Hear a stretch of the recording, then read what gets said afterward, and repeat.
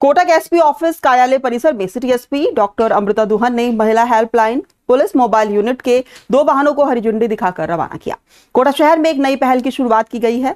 महिलाओं और बालिकाओं के साथ छेड़छाड़, मारपीट और लूट जैसी वारदातों पर अंकुश लगाने के लिए महिला हेल्पलाइन, पुलिस मोबाइल यूनिट वाहन वरदान साबित होंगे।